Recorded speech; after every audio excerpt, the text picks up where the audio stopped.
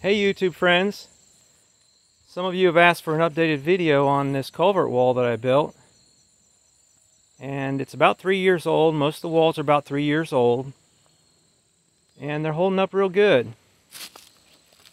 I haven't seen very many changes in them. A lot of water's passed through here and no degradation of concrete or crumbling or anything like that. This was the first one I built. And this needed to be done because the water through here would wash out the drive every single time. We had a major storm, so still doing its job. And I'm pretty happy with it. Now we'll go over to the uh, exit wall. This was the last wall I did. And I improved the methods on my improvement video.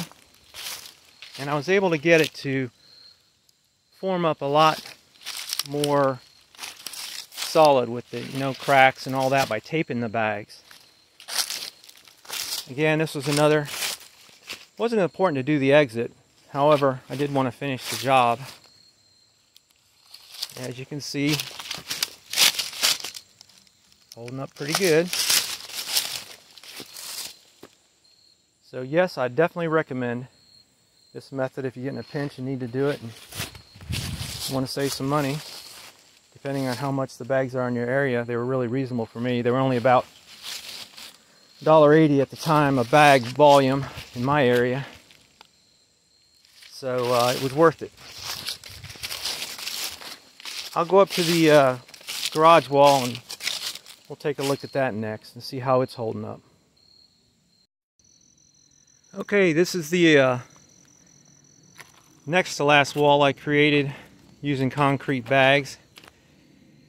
This is the one that I really didn't mix the bags very well. And although it held up well, it had a couple of spots where the bags weren't mixed. So and you can tell it's kind of rough textured where they weren't mixed. However, I learned my lesson. This was a rush job. The other thing, um, I didn't fill any of these cracks and let it go through two freeze cycles, like two winters, with rain, freezing rain, and all that, just to see what would happen. And it didn't seem to crack or crumble or anything like that. However, I did plan on coming back and when you don't tape the bags, they stretch and they form cracks whenever they set up because the bags kind of stretch. So I suggest you sometimes tape the bags if you're concerned or go back and you know put some more concrete texture on the face of it. However, this wall's not going anywhere. There's a lot of people out there that say that I'm holding up this whole hill and everything. Really, this hill's been established here probably for hundreds of years, and I only dug in the side of the hill Took out a little bit of clay. It's solid clay. So uh, I think people are kind of overthinking it. You know, you got to have a whole ton of engineering just put in a wall like this. Uh, I'm only going, you know, maybe two and a half feet up supporting dirt, and a lot of it is just rock that I put behind the wall. So um,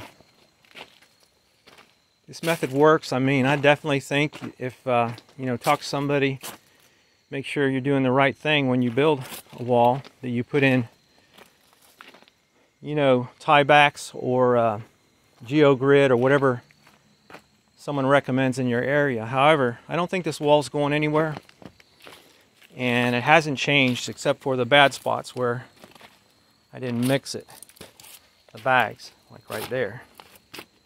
So uh, overall I'm really happy with it and um, you know, I don't think it's going anywhere, and uh, I'll keep you posted in the future. I'll probably be doing some more walls. I really appreciate you guys and gals, whoever, are uh, subscribing and looking at the stuff. And I didn't know it'd get that much attention, but anyway, have a great day.